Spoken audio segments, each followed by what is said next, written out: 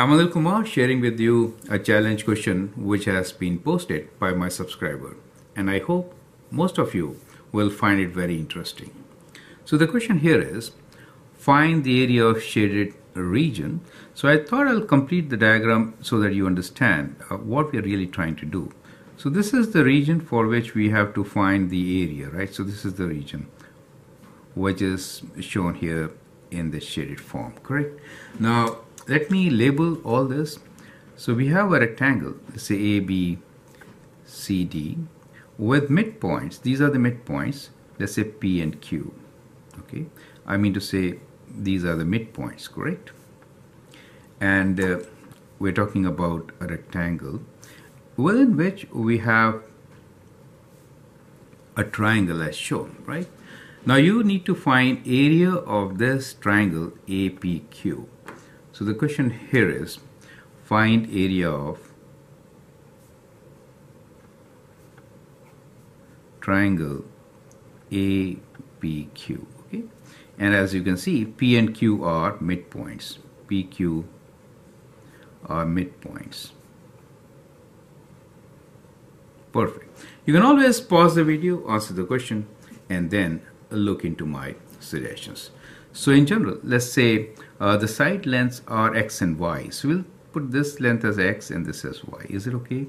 So we're just taking uh, dimensions x and y for our rectangle so that we can work with some, some variable values and get to the result. I hope now the question is absolutely clear.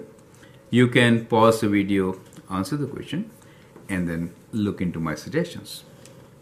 Well, the strategy here is to find the area of triangle will take away area of these small triangles from rectangle. So let's call these small triangles as A1, A2 and A3, right? Now, what is the triangle of, uh, what is the area of rectangle? Okay, is base into height, correct? So let's write down area of ABCD, which is a rectangle, right, is clearly x times y. No doubt about it, correct?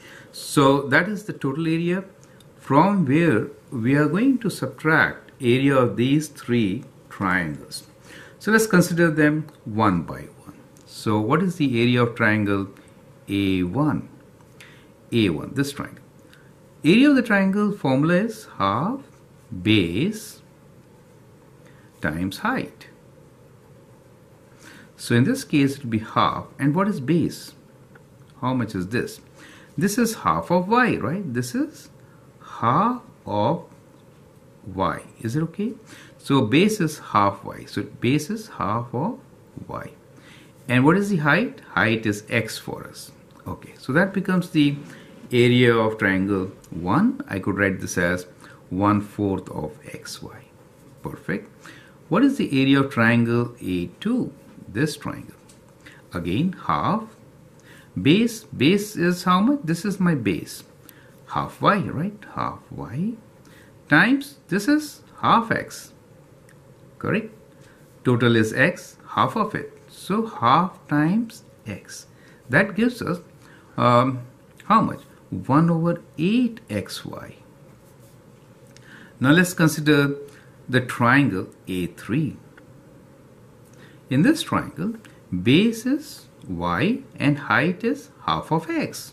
So the area is half times y times half of x. That gives us one fourth of xy. Perfect. Now to find the area of APQ triangle, let's write down triangle APQ. It should be area of rectangle, right? Area of rectangle ABCD.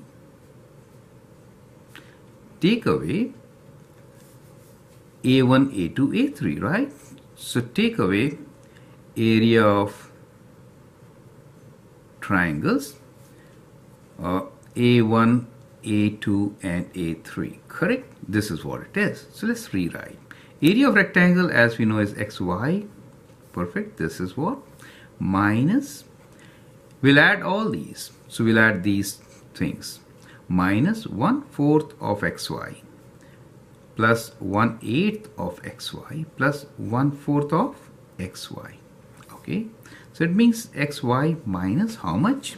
So all this you can take 8 as your common denominator, right? So 8 is your common denominator.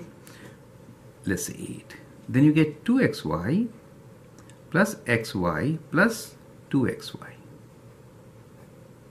So that gives you xy minus 2, 3, 4, 5. 5xy over 8. So it is 8xy minus 5xy over 8 and that gives you 3xy over 8. Do you see that? So that is the area. So our answer is area of triangle APQ is equal to 3 8 of that of the rectangle xy. Perfect. So that is how you could actually solve such a question. So take away the area of small triangles from the big rectangle to get the result. I hope it makes sense.